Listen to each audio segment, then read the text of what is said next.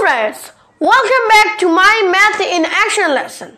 Today I will solve the question 2, exercise 2.1, page 23, class 6, English version under National Curriculum Textbook Board, Bangladesh. In question 2, in question 2, a triangle is given. BD is the median, BD.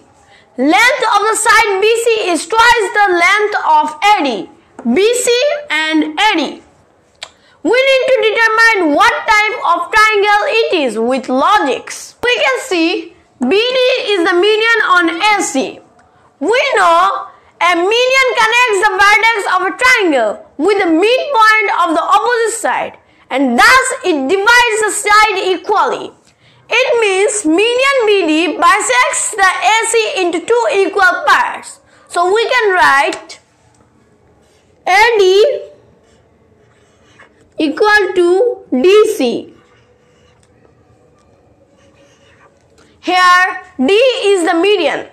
So the length of AC is twice the length of AD. Hence AC equal to 2AD. Again in the question it is said BC is twice the length of AD. Therefore BC equal to 2 AD. Now we got the value of AC equal to 2 AD and BC is also 2 AD. It means AC equal to BD, BC. They are equal. We know when two sides of a triangle has equal length, we call it isosceles triangle. So it's an isosceles triangle. But we don't know if it's an equilateral triangle because there is no information about the side AB.